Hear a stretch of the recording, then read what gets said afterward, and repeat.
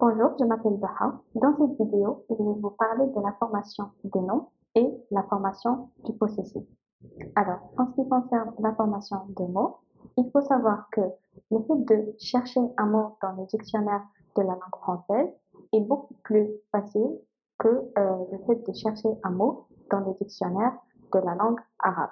Alors, la raison est que chaque euh, mot français a sa propre place dans le dictionnaire ainsi, euh, nous pouvons trouver facilement sous la lettre N les mots comme les mots nage, nageoire, nageur, nager, etc.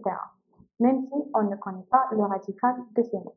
Mais en arabe, les mots sont formés à partir des racines et euh, justement tous les mots de l'alphabet euh, arabe sont classés dans le dictionnaire sous les racines de ces mots.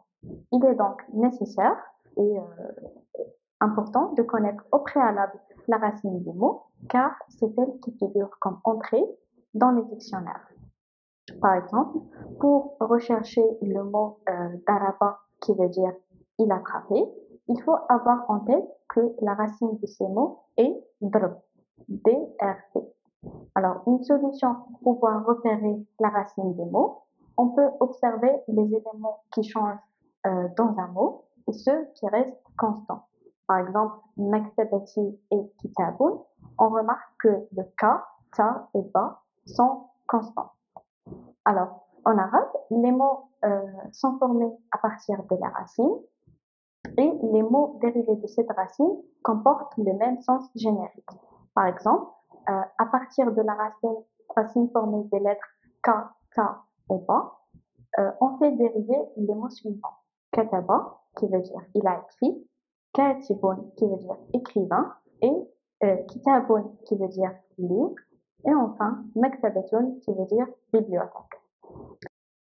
En ce qui concerne la formation du possessif en arabe, euh, le pronom qui exprime l'appartenance qu'on nommera les adjectifs positifs modifie la forme du nom par euh, l'ajout d'une particule à la fin du mot. Par exemple, menzili, menziloka,